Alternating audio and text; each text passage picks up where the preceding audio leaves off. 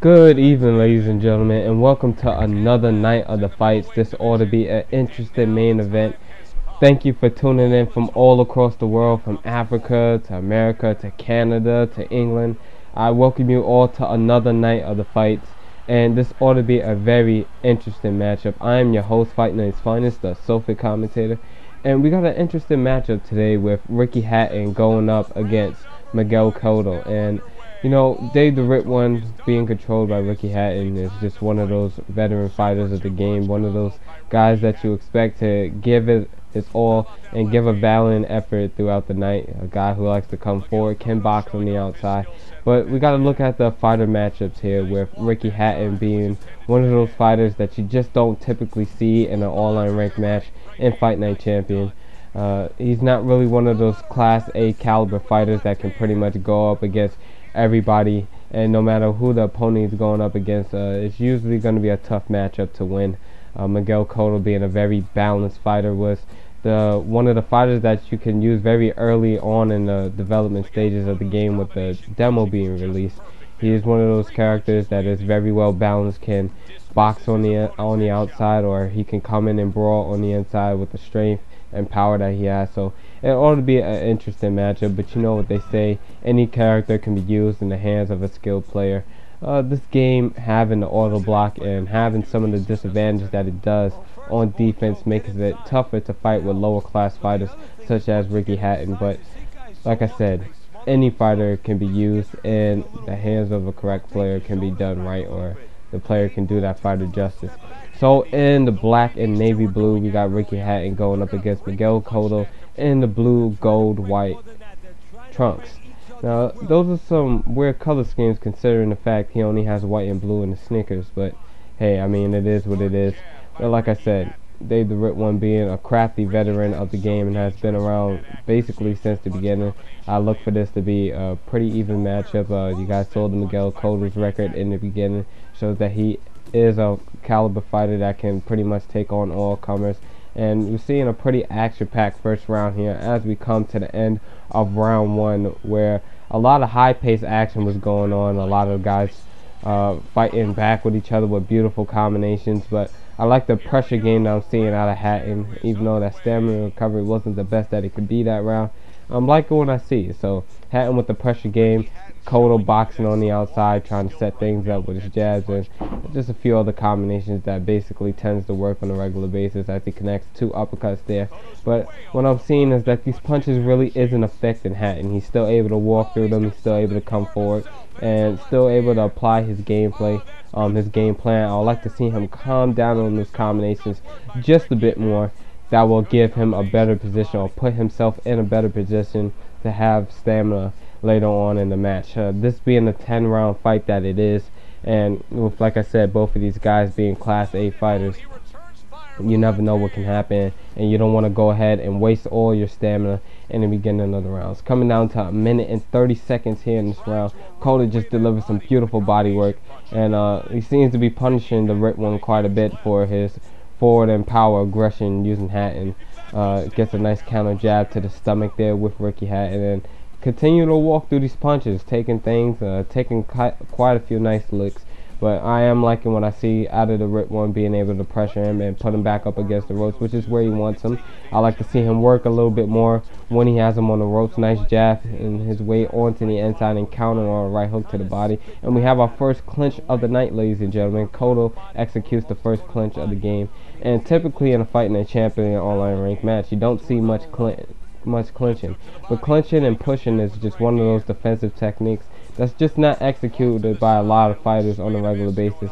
And that was a beautiful exchange of counters that we just seen from both players. I believe Cotto did get the better of that exchange, and he ends up putting him down onto the canvas for the first time. It was a beautiful combination that did it with the straight that finished him off. And down goes Hatton for the first time. And this is what I'm talking about with the forward aggression being paid off by Cotto on the outside. He's definitely the harder puncher, and Hatton not having the greatest chin did put Dave the one at an extreme disadvantage, having to come forward using Ricky Hatton. Not the best chin. He was able to take some of those shots pretty nicely early on and able to walk through, but it was only a matter of time before the power of Cotto gets to him. Uh, neither of these guys really have the best stamina or endurance conditioning wise. Both of these fighters can become gassed really early on and you're starting to see that stamina deteriorate quite a bit only into round three uh, on the Rip One stamina monitor. But um, can't really see what's going on with Miguel Cotto, but looks to me that he's still doing pretty well. But I think he would be in the same exact position as Dave the Rip One, considering the fact that he's boxing off his back foot and he's throwing punches while moving backwards, which does take up a lot more stamina.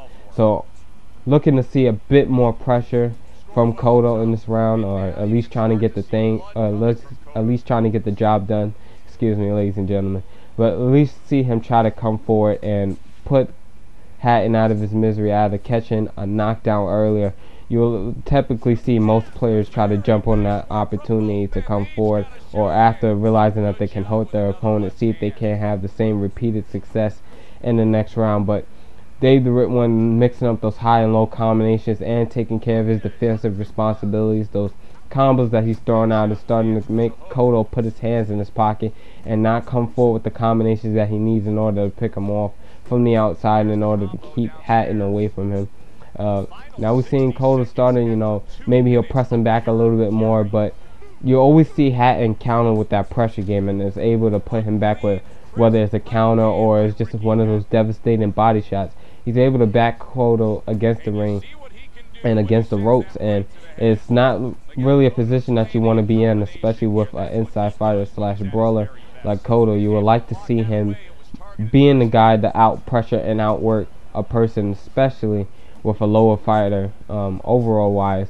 You would like to see him put a bit more pressure on his opponent and go for the knockout himself. Uh, starting to go for those backstep straights and sidestep uppercuts in order to score his quick points. And this man is leaking. You can see the blood dripping down from Miguel Cotto's eye and his nose, and I hope his corner will be able to take care of that. But as you can see on my scorecard, I have it two rounds to one in favor of Miguel Cotto with the knockdown that gives him that early point advantage that you would expect.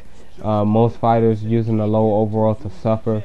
Uh, like I said, it's very hard typically to stay away from your opponents or you know be able to land credible shots or effective shots on your opponent with the fact that he's backing up all the time and your accuracy does become a problem using low overall fighters. But that 10-8 point advantage that he has in the bag from the knockdown scored in, I believe, rounds one or two is going to come into handy later on. And Miguel Cotto really starting to turn up the pressure here with these hook combinations. Uh, expanding a lot of stamina here, and I would like to see him relax a little bit after scoring some nice points and stay on the outside and use his defense a little bit more because this is going to generally affect his stamina recovery quite bad if he's not able to get it together. Uh, you've seen Dave be a bit more relaxed here, Hatton staying on the outside a lot more now. Uh, Miguel Cotto starting to turn up that pressure and figuring either maybe his stamina is low or he's figuring that he's hurting Hatton bad enough that he can apply the pressure and go for the kill here in round four. Uh, as possibly even the fact that he may know that he is losing this fight, well, winning this fight, but Hatton scored uh, a round against him in round three can make him want to actually put forth a bit more offense. Maybe he was trying to conserve his stamina. These are all questions that come up when playing this game and questions you have to ask yourself constantly if you want to be a good fighter or just be able to compete with a better fighter or in this case take out a lower overall fighter. Coming down to the last 20 seconds here in this round, uh, you see both fighters being a bit more tentative now. Uh, the Rip One didn't really expand a lot of his combinations and follow up the momentum that he gained in round three. I do believe that was a Cotto round just due to the difference in hip power, chin power, and weight advantage. That's also a key thing that we're seeing here with Hatton at 140 pounds and Miguel being at 147 pounds. That does give him an extra little umph on his punches against Hatton. And like we said earlier, those low overall fighters really do tend to struggle uh, against bigger fighters, one in weight class, and two being at the disadvantage overall wise. Uh, it's not the best thing that you'll see here, but round five is going on here, and this has pretty much been a Miguel Cotto fight. Uh, Cotto's just been able to box really well on the outside and use the power advantage that Miguel Cotto has, uh, using a lot of steps, whether it's a back step straight, a side step uppercut, or a side step hook in order to uh, try to land some clean shots on Hatton, and it's been pretty effective. But you gotta wonder where Miguel Cotto's stamina is at this point. The Rit one has been providing some pretty nice body work throughout the entirety of the fight, especially with those high and low combinations. We have seen a few times where he has put his hands in his pocket, and there we go. He gets the knockdown, and I'm sorry, son, get your chin check. He hits a beautiful pinpoint uppercut with the left hand and able to drop Miguel Cotto onto the canvas for his first time in the night. So Hatton is able to score that knockdown back that he suffered earlier, and that's going to be a key turning point in this fight right about now, ladies and gentlemen. I would like to see Hatton continue to apply pressure and look to see some better defense from Miguel if he's going to want to survive the rest of this round without receiving another knockdown. Minute into the final, uh, a minute left in the fifth round, and I'm looking, I'm liking what I'm seeing here from Miguel. He's just trying to pick his shots, be a bit more tentative now, rely on his defense, and try to pot shot from the outside and look for high scoring shots like the power straight, or maybe just catching on an overhand punch, something that requires the stick. He stuns Hatton momentarily, but he's able to recover and wisely backs off. Uh, both men look like they are starting to deteriorate in terms of stamina. I do believe that is what it is that has caused this knockdown on Miguel was one the constant pressure and two low stamina which eventually will cause you to be knocked down if you are not careful with how you box it. So this has been a pretty interesting fight. I do start to see things starting to shift over for the Rit one. I'm seeing it two rounds to three right about now. Uh, with Miguel taking the first and second, Hatton slash Dave the Rit one taking the third and that fifth round. I do believe Miguel still has the advantage because of his knockdown one and him just winning the fourth round and turning up the pressure will probably give him a one point lead advantage at this point.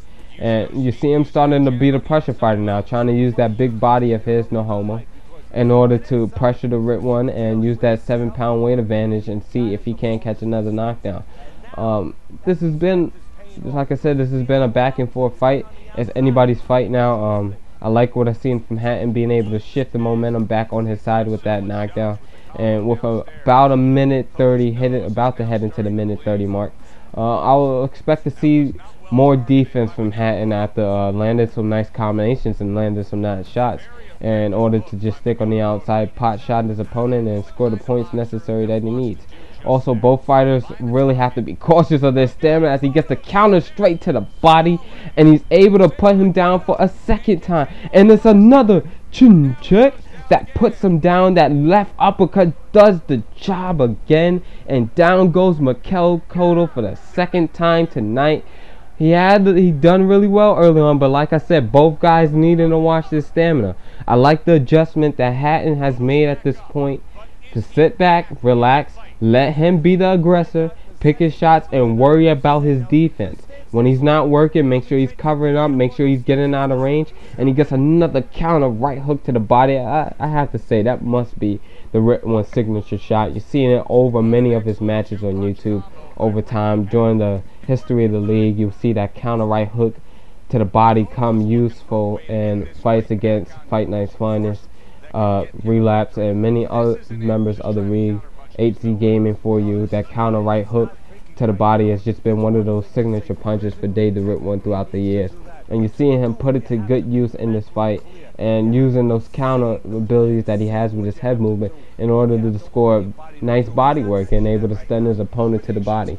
So we're now into the round seven where I believe Ricky Hatton has taken the lead in this fight. Dave the Rit one doing a nice job of taking the fight back to his opponent being a little smarter in the later stages and mid stages of this round. And we're about to enter into the championship rounds. There's still four rounds to go if you include the seventh, the eighth, the ninth, and the tenth. It's going to be a fight that looks like it's going to come down to the wire. Both fighters being able to make adjustments and which they feel will give them the advantage against each other. As Miguel Cotto lands that signature of his, the side step right uppercut, uh, punch that's pretty much abused by the entire fight night community uh, where most guys will look for that sidestep uppercut in order to score a quick shot or get a quick counter off with head movement not being what it was back in round four. It is extremely hard to score counters against your opponent. And he connects with another sidestep right uppercut and is able to do quite a bit of damage to Hatton. But he just doesn't have the stamina and he's able to stun him momentarily. But he looks to be pretty strong on his feet now. Probably a bell ringer that is in the state that he is, that put him in the state that he is in now. And of course, you got to apply pressure whenever you have the chance. You know, score as many points as you can before you look to play defense. Um, both fighters now starting to rely on combination punching in order to score the points that they need. And back with the signature counter right hook to the body. You've seen it many times from him tonight, and it's doing him great justice. It's how also he was able to catch that stun early on, and I'm liking when I see him from Dave the Rip one. And this is just one of the advantages that come from the power game and the pressure game. If you're able to just put a body near your opponent it makes them feel like they have to work more than what they necessarily have to do. And I'm getting the feeling from Miguel Cotto here that he is not confident in his defense. He's expecting a pot shot, uses combinations and the side step uppercut and back step straights in order to really um, score most of his shots. He's an offensive minded fighter.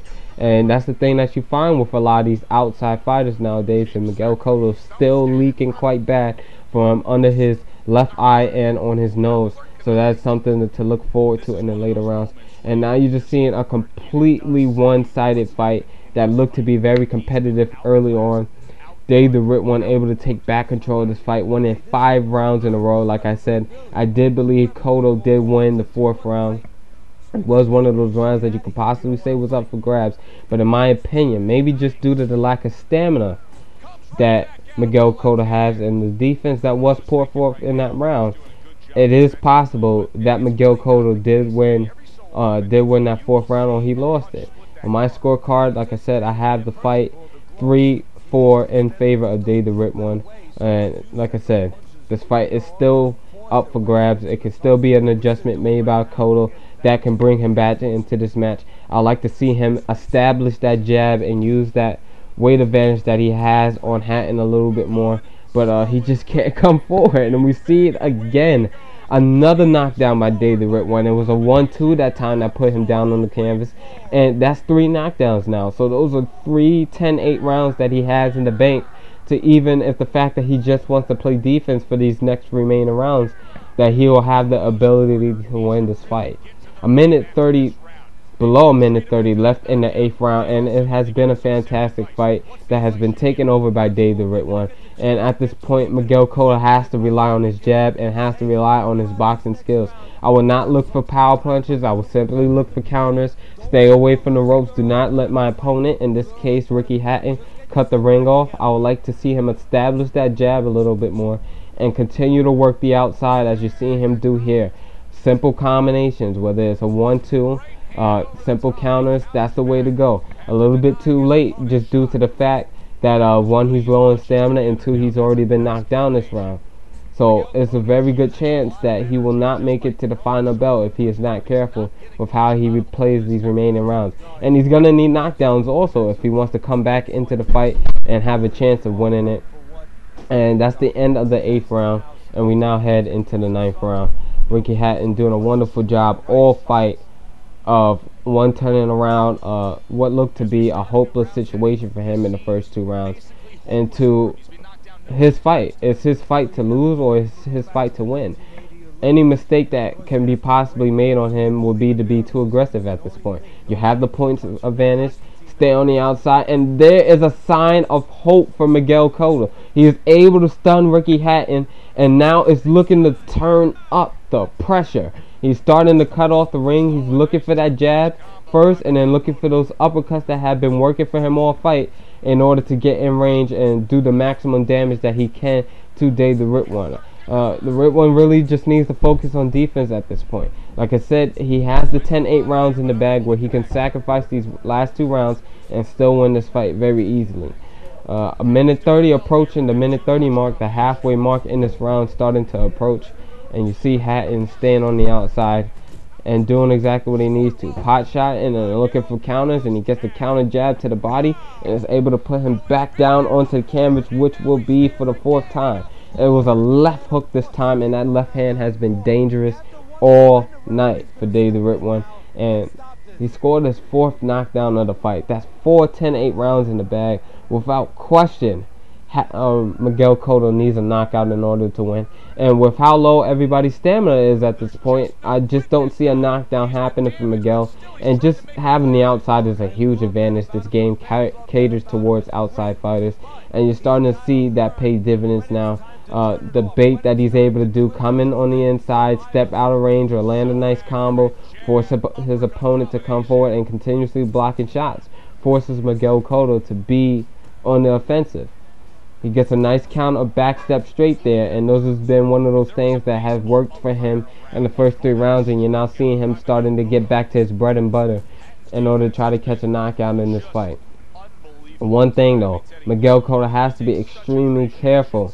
I, if it was me, just so I want to be knocked out, I'll probably go for the illegal blow and know that the next blow that I throw, if I get stunned, the next illegal shot that I throw will probably get me into the 10th or just to the end of this fight and you see the leakage continuing from under the left eye and on the nose. I'm I'm assuming that nose is broken. It has to affect the stamina recovery.